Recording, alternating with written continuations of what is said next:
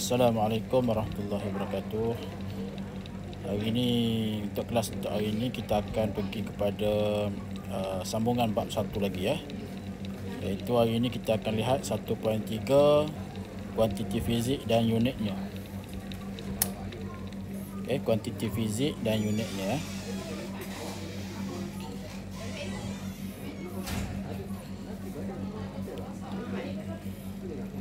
Okey, kuantiti fizik dalam sains ditarifkan sebagai sifat fizikal yang boleh dihitung, ya, yang boleh dikira lah, ya, yang boleh diukur dan dikira. Okey, itu maksud kuantiti fizik, ya, sesuatu uh, sifat fizikal yang boleh dihitung, ya, sama ada diukur, ya, bila diukur tu kita menggunakan alat, ya, seperti uh, pembaris, uh, jam randik ataupun kita menggunakan alat-alat yang sesuai lah untuk mengukur suatu kuantiti fizik dan ianya boleh dikira. Dikira sama ada menggunakan formula ataupun kita boleh memperolehi secara langsung. Kuantiti fizik asas yang sentiasa digunakan ialah panjang satu eh. Jisim. Dua. Masa. Tiga. Suhu. Empat. Dan arus elektrik ya lima. So kita ada lima ya kuantiti fizik asas. Ya, panjang jisim masa suhu dan arus elektrik untuk keseragaman penggunaan, unit sistem antarabangsa ataupun dipanggil sistem international di United ataupun di UNEX SI digunakan ya. SI itu sistem international ya digunakan untuk menyelaraskan ataupun menyeragamkan uh, unit tu di seluruh dunia ya. Hal ini membolehkan pertukaran data dan pengetahuan saintifik dilakukan ke seluruh dunia dengan lebih tepat. Sekarang ni kita berpindah kepada unit SI. Eh. Jadi SI ni tadi ialah singkatan bagi sistem international ya. International. Okey. Di unit ya. Okey, itu masuk dia SI tu. Jadual 1.2 menunjukkan kuantiti asas kuantiti fizik asas yang terdiri daripada kuantiti asas, unit SI dan simbol unit SI. Di mana yang disebutkan tadi ada lima kuantiti fizik asas iaitu panjang, jisim, masa, suhu dan arus elektrik. Unit SI bagi panjang adalah meter. Eh. Meter. Simbol unit SI adalah M kecil. Bagi jisim, unit SI-nya ialah kilogram dan simbolnya adalah kg kecil. Eh. K huruf kecil, G pun huruf kecil. Yang ketiga, masa. Unit SI-nya adalah saat. Simbolnya adalah S kecil. Yang keempat, suhu. Suhu unit SI-nya adalah Kelvin ya. Kelvin dan simbolnya adalah K besar. Dan yang kelima, arus elektrik. Unit SI-nya adalah ampere ya. Ampere.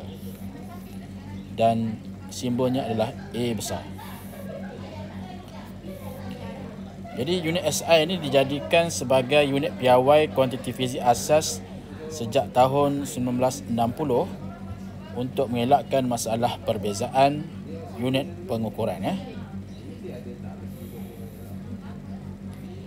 Nilai imbuhan. Sekiranya nilai unit kuantiti fizik sangat besar atau kecil, imbuhan yang sesuai boleh digunakan. Nilai imbuhan adalah penting dan banyak digunakan dalam pengiraan.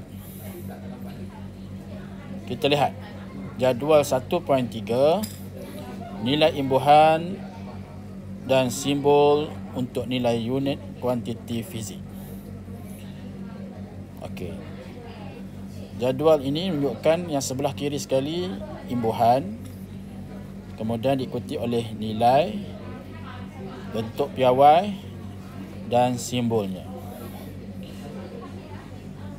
Imbuhan yang pertama ialah giga. Giga nilai dia ialah seribu juta ya. Seribu juta. Bentuk piawainya ialah sepuluh kuasa sembilan. Ya, kuasa sembilan tu diperolehi dengan cara kita gerakkan titik daripada sini. Okey, satu, dua, tiga, empat, lima, enam, tujuh, lapan, sembilan. So, di situ. Jadi maknanya ada sembilan ya, sifar ya. Sembilan sifar, so sepuluh kuasa sembilan. Ya, kuasa sembilan adalah bentuk piawai. Yang ini bentuk nilai, ini bentuk piawai. Ya, maknanya kita boleh tulis ia sebagai satu poin sifar darabkan dengan 10 kuasa 9 dan simbolnya adalah G besar. Okey, G besar ya. Kemudian selepas giga rendah pada giga ialah mega. Ya, mana giga tu yang paling besar.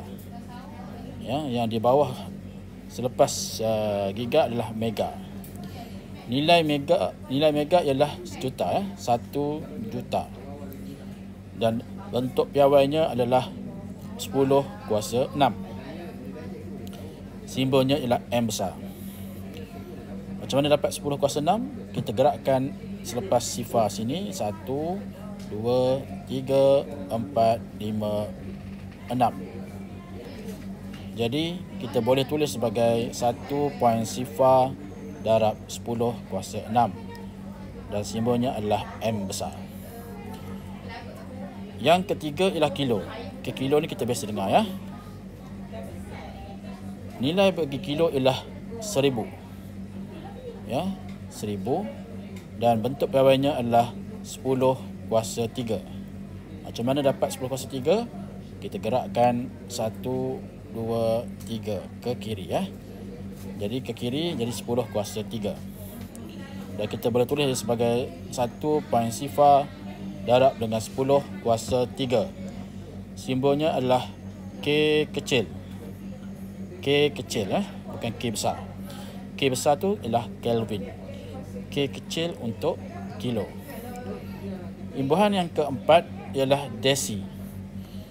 Nilai bagi desi adalah sifar poin satu.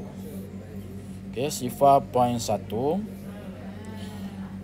Bentuk piawainya adalah 10 kuasa negatif 1. Macam mana dapat? Jadi kita kena gerakkan titik perpuluhan ke kanan. Jadi kita gerakkan ke kanan dia jadi satu poin sifar darab dengan negatif satu. Sebab kita gerak sebanyak satu. Maka jadi negatif satu. Kita gerak ke kanan jadi jadi negatif. Kalau gerak ke kiri dia jadi positif. Dan simbolnya adalah D kecil. D kecil untuk desi. Imbuhan yang seterusnya ialah senti.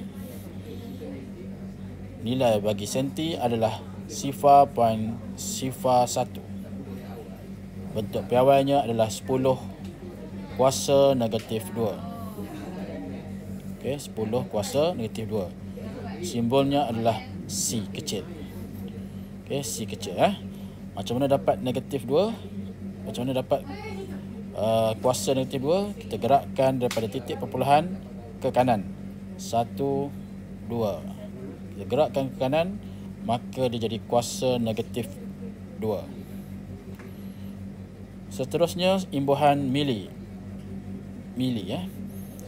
Nilai bagi imbuhan mili adalah sifar poin sifar sifar 1 bentuk piawainya adalah 10 kuasa negatif 3 dan simbolnya adalah M kecil. Bukan M besar M besar adalah untuk mega M kecil untuk mili macam mana dapat 10 kuasa negatif 3 kita gerakkan daripada titik perpuluhan ke kanan. 1 2 3 apabila kita gerakkan ke kanan sebanyak 3 maka dia jadi negatif 3 ya. 10 kuasa negatif 3 Seterusnya imbuhan mikro. Imbuhan mikro nilainya adalah sifar poin sifar sifar sifar sifar sifar satu. Ya. Ataupun bentuk piawainya adalah 10 kuasa negatif 6. Simbolnya adalah seperti ini ya. Ini nilainya adalah simbol mikro ya. Simbol mikro. Dia macam U. Okay, macam U tapi dia punya kita tarik di sebelum U tu kita tarik panjang ya. Jadi cara dia ialah kita tarik kemudian buat U. Okey, itulah simbol bagi mikro. Dan yang terakhir ialah nano. Imbuhan nano. Nilai bagi Nano adalah sifar poin sifar sifar sifar sifar sifar sifar sifar sifar satu. Ya. Dan bentuk piawainya adalah 10 kuasa negatif 9. Simbolnya adalah N kecil. Okay, N kecil. Eh. Macam mana dapat kuasa negatif 9? Kita gerakkan daripada titik puluhan ini ke kanan sebanyak 1, dua, tiga, empat, lima, enam, tujuh, lapan, sembilan. Maka kita boleh tulis dia sebagai satu poin sifar darabkan dengan sepuluh kuasa negatif sembilan. Begitu juga yang sebelum ni tadi. Satu poin sifar darabkan dengan sepuluh kuasa negatif enam. Satu poin sifar darabkan dengan sepuluh kuasa negatif tiga. Dan untuk senti satu poin sifar darabkan dengan 10 kuasa negatif 2. Okey, jadi ini adalah jadual nilai imbuhan dan simbol untuk nilai unit kuantiti fizik ya.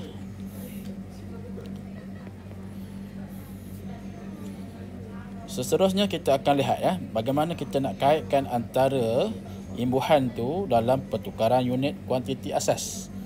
Ya, pertukaran unit kuantiti asas. Ini mungkin biasa ya dalam matematik ya, siapa yang biasa buat dalam matematik rasanya tidak ada masalah A kita akan lihat ya, kuantiti fizik asas yang pertama itu jisim ya.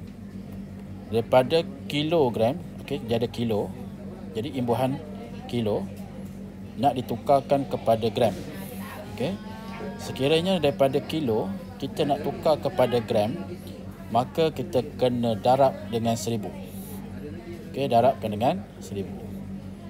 Kalau kita nak tukar daripada gram kepada kilogram, kita kena bahagikan dengan 1000. Okey ya. Ini maklumat di sini. Okey, pastikan maklumat di sini ya. Contoh. Contoh ya. 1.9 kilogram bersamaan dengan berapa gram? ya macam macam mana kita nak dapat so kita kena bila kita nak tukar daripada kilo kepada gram ha, maka kita kena darabkan dengan seribu. jadi 1.9 darabkan dengan seribu, maka kita dapat 1900 gram bagaimana sekiranya kita nak tukar pula yang kedua ya daripada gram kepada kilogram Sebagai contoh 8200 gram bersamaan dengan berapa kilogram. Seperti mana yang kita tahu di sini tadi. Maka 8200 bahagikan dengan 1000. So kita dapat 8.2 kilogram. Eh? Baik.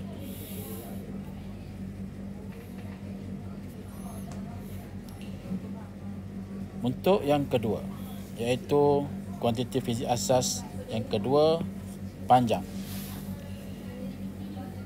Panjang kita akan ambil daripada imbuhan kilo, kilometer, kemudian pergi ke meter, pergi ke desimeter, pergi ke sentimeter, pergi kepada milimeter.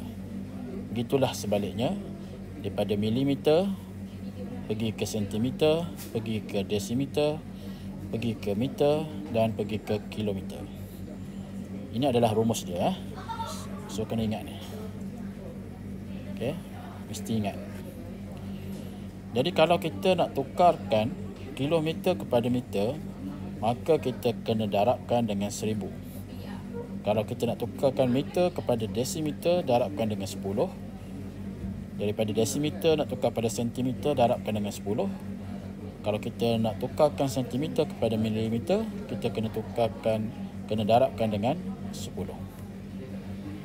Sekiranya kita nak tukarkan mililiter kepada sentimeter, kita kena bahagi dengan daripada sentimeter nak tukar kepada desimeter kena bahagi lagi dengan 10 daripada desimeter nak tukar kepada meter kena bahagi lagi dengan 10 dan daripada meter nak tukar kepada kilometer kita kena bahagi dengan 1000 Okey, ini adalah formula ya. So maknanya ni kena kena ingat ha? kena ingat. Contoh yang pertama 80 meter kita nak tukar kepada sentimeter. So daripada meter ni kita nak pergi ke sentimeter. Sentimeter tu berada di sana. Ya, maksud makanya ya, kita kena darabkan dengan 100, ya, darabkan dengan 100 sebab apa dengan 100? Sebab daripada meter nak pergi ke desimeter 10. Kemudian 10 tu darab lagi dengan 10. So jadi 10 10 100. So darat dengan 100 jadi 8000 cm eh. 8000 cm. Kemudian yang kedua 600 cm nak tukar kepada meter. Ya, cm ni nak pergi ke meter. Maksud kita kena bahagi 10 bahagi dengan 10. Maknanya kena bahagi dengan 100. Sebab 10 dengan 10 jadi 100. So maknanya 600 cm bahagikan dengan 100 so dapat 6 meter. Ya. Contoh yang ketiga 95 mm 95 mm nak tukar kepada meter. Daripada sini milimeter nak pergi ke meter ya. Kita nak tukar ya. Maka kita kena bahagikan dengan 1000 sebab 10 darab 10 darab 10 jadi 1000 maka dia jadi ha, sifar poin sifar 95 meter.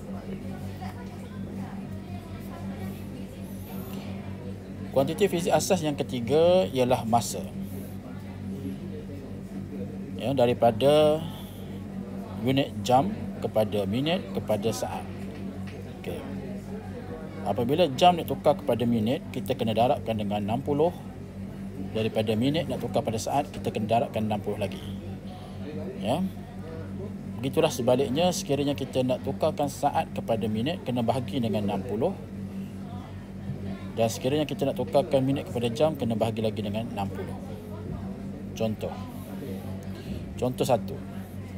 7 minit nak tukar kepada saat. Ya.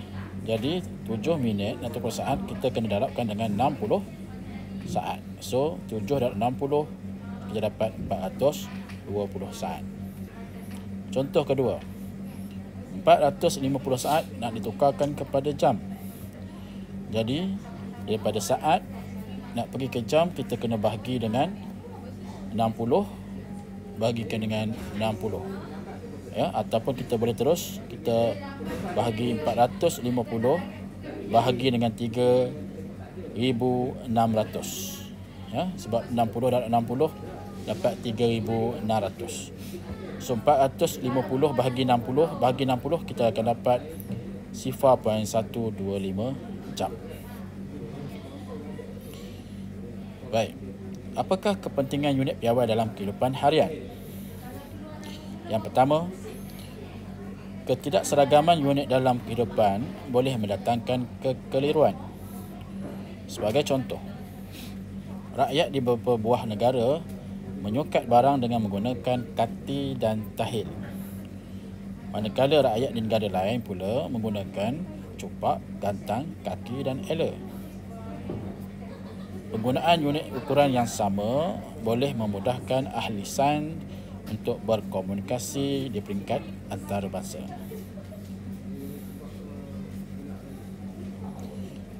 Kita perhatikan ukuran zaman dahulu.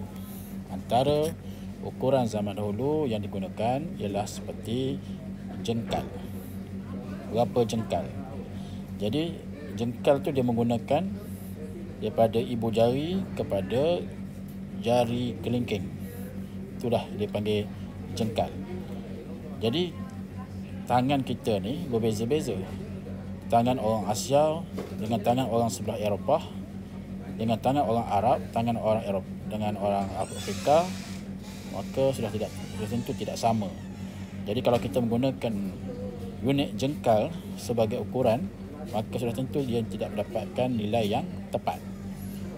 Yang kedua depa. Depa dia kira daripada apabila kita mendepakan tangan kita secara secara mendata ya, bahu kita tu kita ukur di sini ya itu satu depa sudah tentu tak sama ya. tangan kita tak sama panjang antara satu antara satu sama lain langkah. Begitu juga. Langkah. Langkah pun tidak sama. Begitu juga dengan hasta. Ya. Ini dia hasta dikira pada siku sampai ke hujung jari hantu. Ya. Itu satu hasta. Jadi tidak sama. Jadi ukuran zaman dahulu yang dipelajari semasa di sekolah rendah iaitu kaki, jari, depa, jengkal, hasta dan lain-lain yang digunakan untuk buku panjang seperti ini ya. Baik. Jadi begitulah ya. Uh, pembelajaran kita untuk topik 1.3. Jadi nanti sila lihat latihan yang akan diberikan dalam buku teks ya saya akan share latihan dan disiapkan dalam buku yang sama ya dengan buku nota.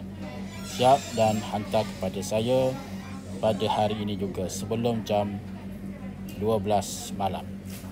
Sekian terima kasih. Assalamualaikum warahmatullahi wabarakatuh.